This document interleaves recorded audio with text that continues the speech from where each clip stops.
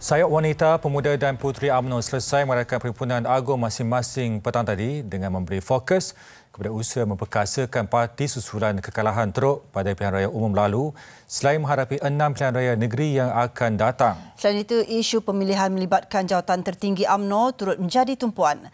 Pagi tadi, bekas Ketua Pemuda Khairi Jamaluddin berkata Datuk Seri Ahmad Zahid Hamidi menyatakan kesediaan dicabar untuk jawatan Presiden selaras dengan proses demokrasi parti itu. Minta maaf bagi laluan. Khairi yakin kenyataan ringkas Datuk Seri Zahid itu menghantar mesej tegas kepada mana-mana pihak yang cuba menyekat proses demokrasi dalam UMNO. Sambil uh, saya salam beliau, beliau telah sebut bahawa uh, ready to fight. Uh, maknanya beliau bersedia untuk uh, berdepan uh, dengan uh, sebarang cabaran uh, dalam pemilihan UMNO. Maksudnya Presiden sendiri berani. Datuk Seri Zahid, saya selut kepada beliau.